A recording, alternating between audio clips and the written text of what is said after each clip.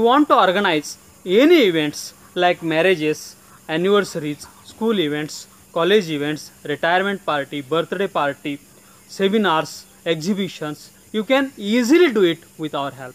Now what you have to do is you have to go in the comment box of this video. First you should write your name. Then you should write your mobile number.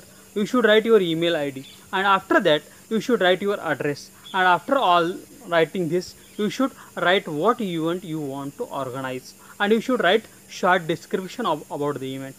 We will share your post and you should post your comment in the comment box of this video. We will share your post to all our registered event management services in your city.